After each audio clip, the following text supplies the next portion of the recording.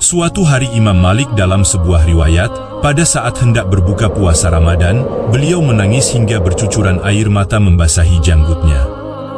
Salah satu muridnya bertanya, Wahai guruku yang mulia, kenapakah engkau menangis sedemikian sedih serta menyayat hati kami? Apakah ada di antara kami yang membuat hatimu sedih, atau hidangan ini kurang berkenan?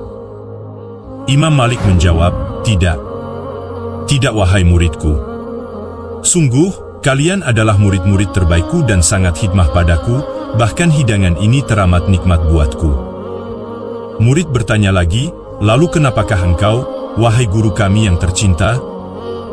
Imam Malik menjawab, Sungguh, aku pernah berbuka dengan guruku, Sayyidina Imam Ja'far Esyadik, cucu baginda Rasulullah Shallallahu Alaihi Wasallam, dengan makanan yang nikmat seperti saat ini, dan beliau berkata sambil terisak, Wahai Ibnu Anas, Imam Malik, tahukah engkau, Rasulullah Shallallahu Alaihi Wasallam terkadang berbuka dengan tiga buah kurma dan air.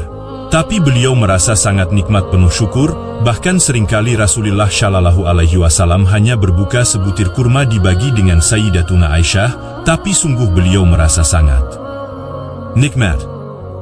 Beliau sedikit sahur dan berbukanya, tapi banyak ibadah dan syukurnya.